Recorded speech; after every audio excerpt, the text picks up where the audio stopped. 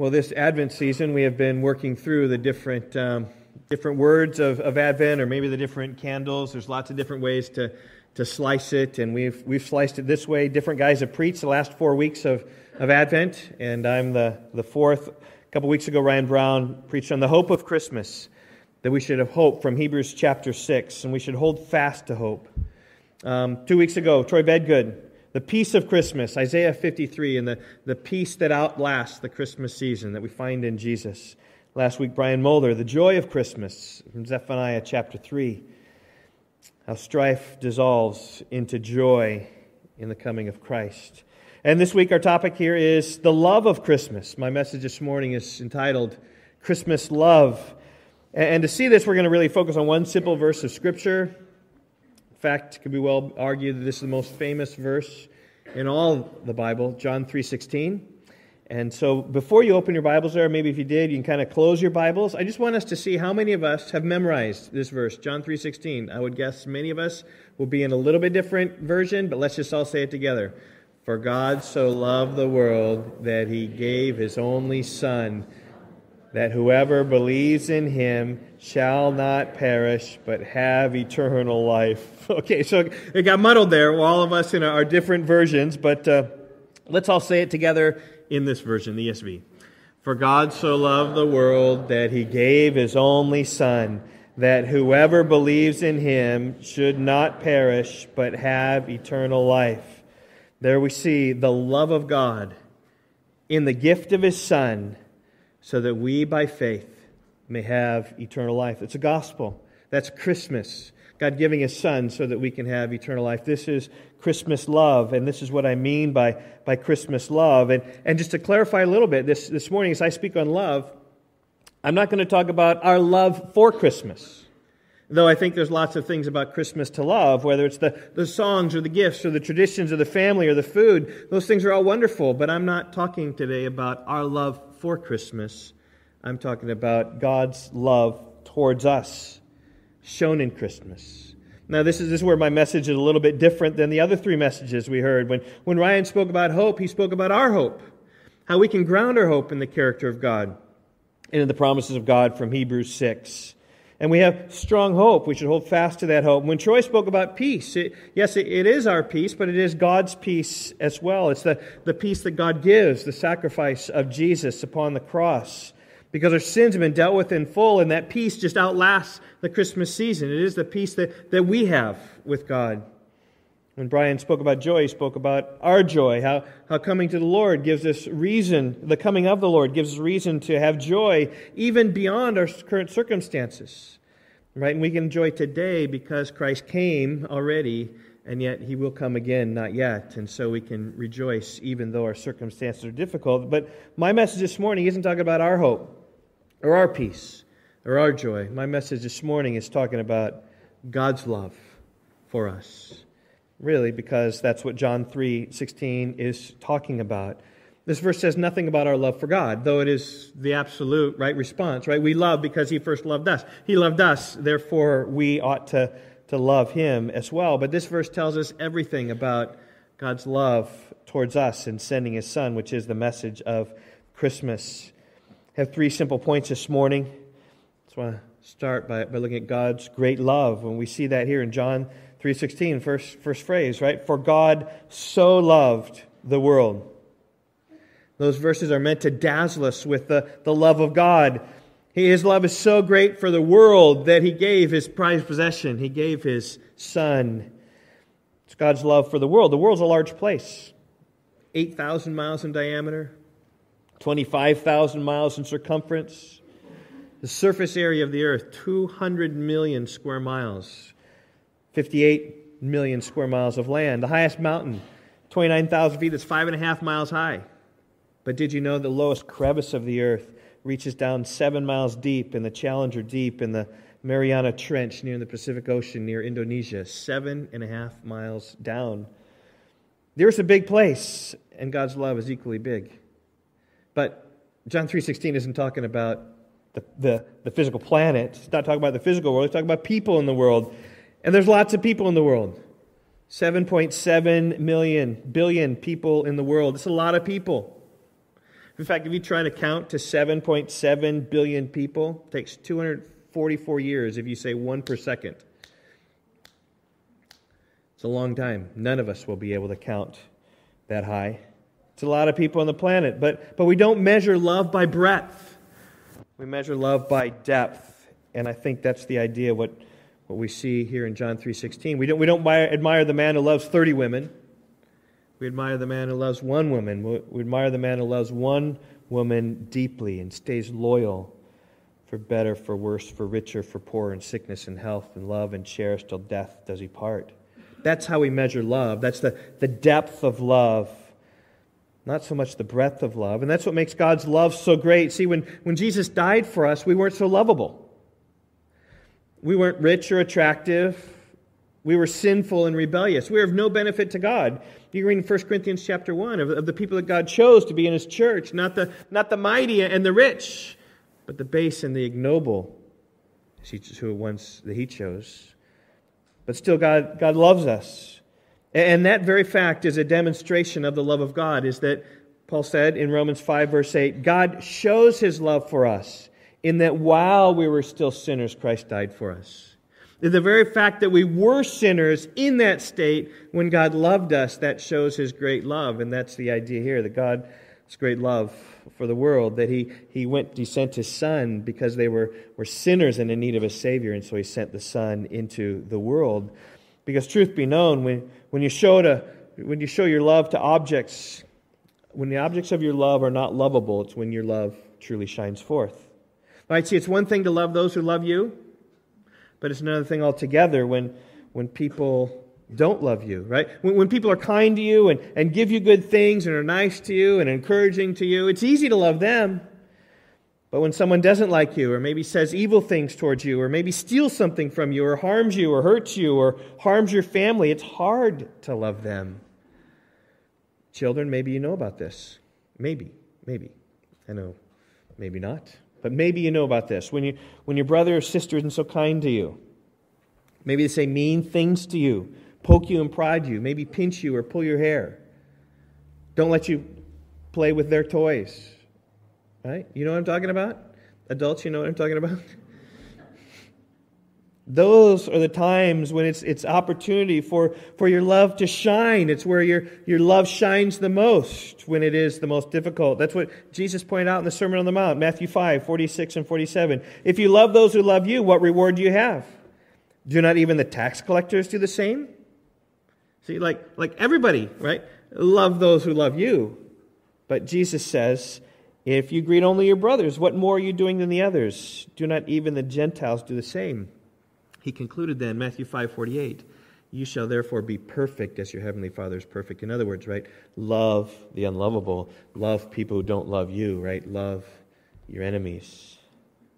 And that's, in fact, how deep God's love is for us. That's God's great love, that He loved us when we were His enemies. Romans 5, verse 10 While we were enemies, we were reconciled to God by the death of His Son.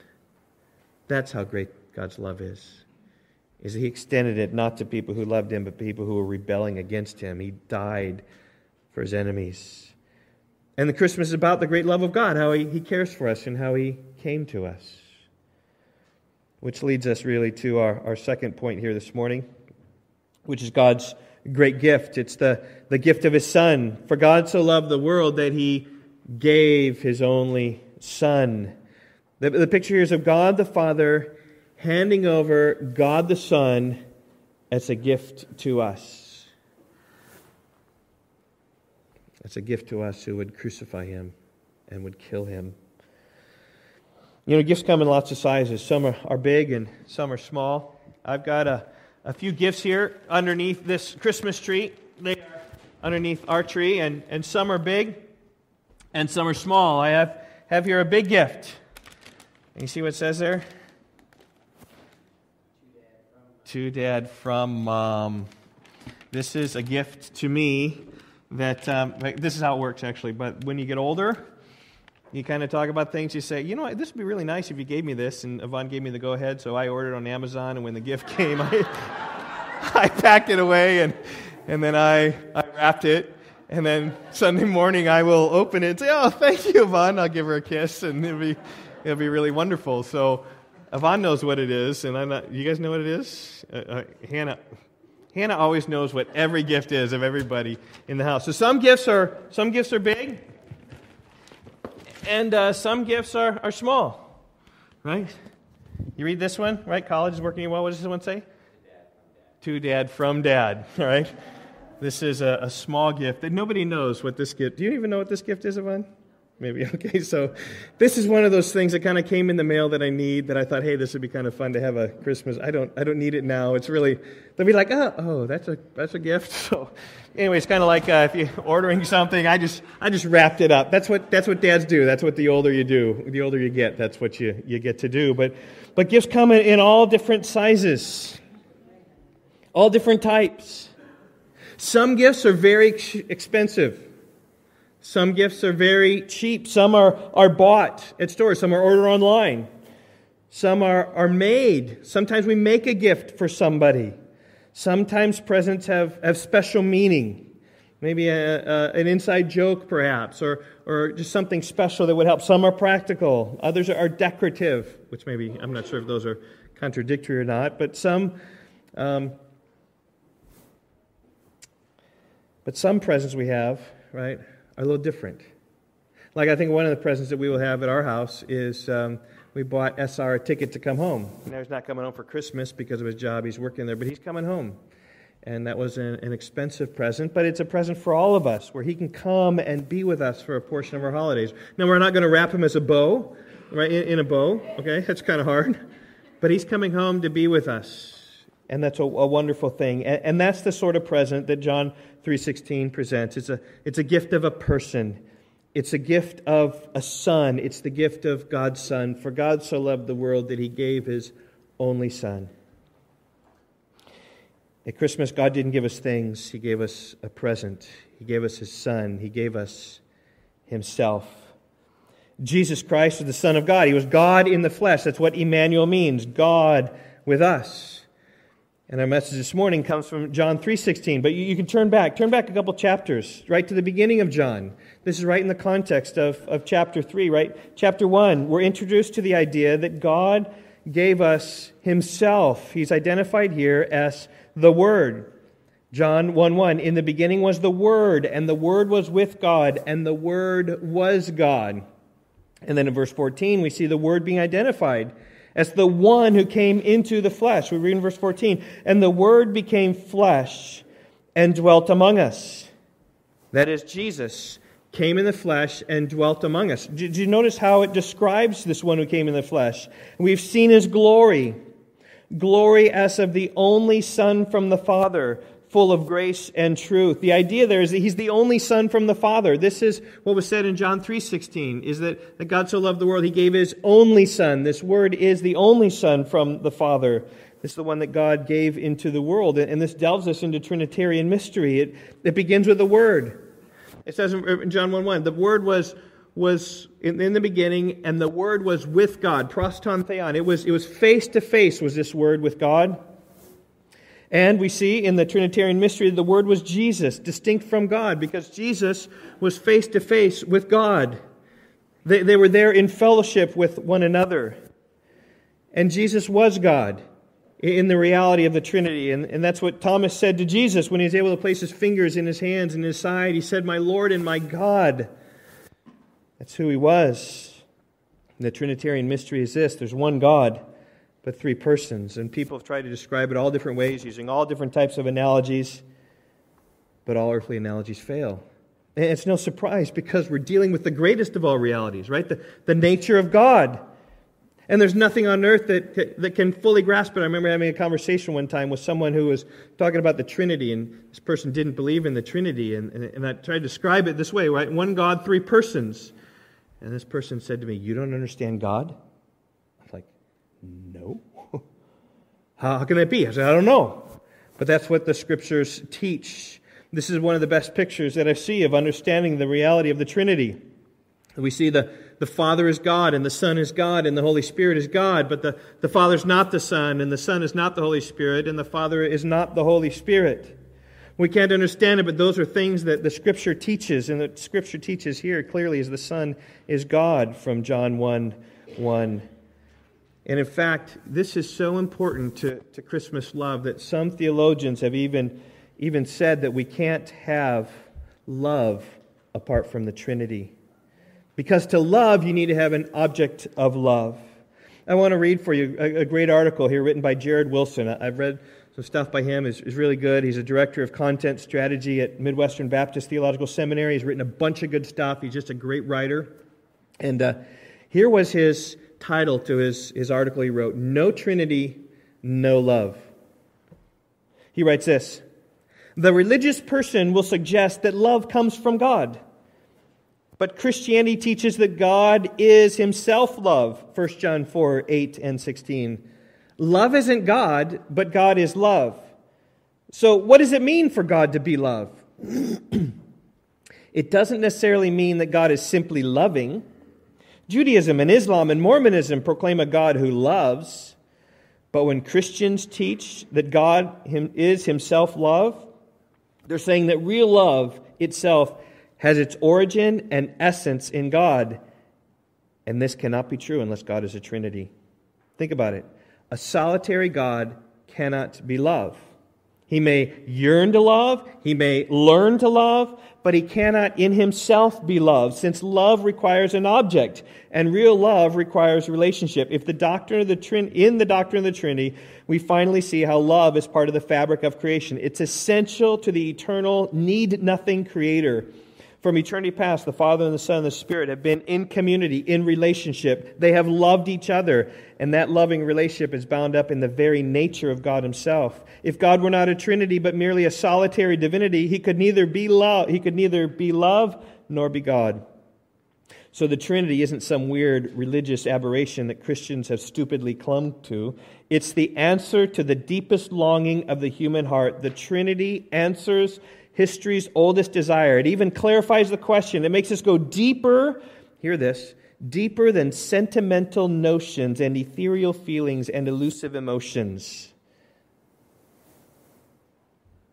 It puts us on solid ground with all this love stuff we've been chasing forever. We're all looking for love. And deep down, we all need it in ways we don't understand or even acknowledge. We search and search. We find glimpses, moments, tastes, and samples of love. We have genuine experiences of love, but yet nothing quite gets us outside of our own hurts, our own self interests, and our own sins. We need the realest love there is. John 15, 13. Greater love is no one than this, that he lay down his life for his friends. Sacrificial love is the ultimate love. Now imagine the one who is love himself sacrificed himself that's the idea. Here's the greatest gift God sacrificing himself. Imagine that the eternal loving fellowship of the divine community sent out one of their own to die not just for their friends, but for their enemies. Why would this loving fellowship do this? To make the enemies friends, of course. And this is precisely what God has done. The second person of the Trinity, the Son of God, takes on flesh and comes to die and he who is true love might show true love and give true love and transform by true love that we might finally know true love. No Trinity, no love. Hope you catch that, grasp that, think about that, and you can delve in those mysteries. You can read Jonathan Edwards speaks much about this if you want to go further. But because, right, God alone, you, you, in order to love, you need an object to love. And there in the Trinity, there's relationship, and God is the essence of love. And that's how great this gift is. And that's how God's great love is demonstrated and shown that He gave Himself for us to give us our greatest need, which is eternal life, which really is the third point my message this morning God's great grace. We've seen His great love for the world, He's seen His gift of Himself, gift of His Son and now we see God's great grace. God so loved the world that he gave his only Son, that, here it is, whoever believes in him should not perish but have eternal life. And notice how exactly it is we gain eternal life. It's not by religion. It's not by works. It's not by deeds. It's not by effort. It's not by goodness in us. It's by believing and trusting in Jesus. It's by trusting in the sacrifice of Jesus that his death on the cross was sufficient to pay my sins. It's clearly in view here in John 3:16 when you hit the word perish. Whoever believes in him should not perish. Right? In other words, the implication if you don't believe in him, you will perish, you will die. See, our sins have earned for us one thing death. That's the punishment for our sins, that we will perish for our sins apart from God's love and apart from God's gift. This is what would happen to us. We, would perish in our sin. Psalm 130, verse 3 and 4 says so good. If you, Lord, should mark iniquities, O Lord, who would stand? It's a rhetorical question. Oh Lord, who would stand? If God would mark iniquities, we would perish. No one would stand. And then verse 4 comes in Psalm 130 But there is forgiveness with you. And forgiveness comes through Jesus Christ. So when John the Baptist saw, when he saw Jesus coming toward him, he said, Behold the Lamb of God who takes away the sin of the world. Let's see if we can get it right here, right? Jesus coming, says, Behold the Lamb of God who takes away the sin of the world. Takes us back to the sacrificial imagery of, of the Old Testament when a, when a sinner would commit a sin and come and bring a lamb to, to sacrifice. He'd bring it to the priest and he'd confess his sin and he, he'd hand over the priest, and the priest would take that lamb and slit its throat, laying his hand upon the lamb uh, designated that the sin that you have committed, I'm praying that God would lay it on this one, this death of this one, and then puts it on the altar and burns it up as a soothing aroma, pleasing aroma to the Lord. And that's how Israel dealt with their sin through sacrifice, done millions and millions of times throughout history. Bring the lamb, destroy the lamb, burn it as sacrifice to the Lord. And when John the Baptist saw Jesus, he said, Behold, the Lamb of God who takes away the sin of the world. He takes that away so we don't perish. And in fact, the, these words are interesting here because he's saying he, he took away our sins. Because the Old Testament sacrifices, they never took away sins. Oh, they, they dealt with sins and they covered the sins. A little bit like when you, you clean up at home and you just you know, put your, your, your sweep your dirt under the rug. You're dealing with it, but you're just covering it. You're not taking it away. So when you vacuum it up and take it away and put it out in the garbage, it's gone. That's what Jesus did. But in the Old Testament, they just they covered up our sin. And how? How does God do it? God so loved the world that he gave his only Son, that whoever believes in him should not perish, but have eternal life. So we think about illustrating that. The best way to illustrate that is simply to go the verse before John 3:16, the two verses before. This is the divine illustration of what Jesus meant when he said, Just believe on him, you shall not perish, but have eternal life. He said this As Moses lifted up the serpent in the wilderness, so must the Son of Man be lifted up, that whoever believes in him may have eternal life. Takes you back to an obscure story told in Numbers chapter 21 about the time when the Israelites were in the wilderness and uh, they were wandering there and they were, they were sinning. On this occasion, they were impatient. And I'll just read Numbers 21, 5 through 9. And the people spoke against God and against Moses. They said, Why have you brought us up to Egypt to die in the wilderness? Why have you brought us up out of Egypt to die in the wilderness? For there's no food or no water, and we loathe this worthless food, complaining against the manna that God had provided to them every day. Then the Lord sent fiery serpents among the people, and they bit the people, so that many people of Israel died.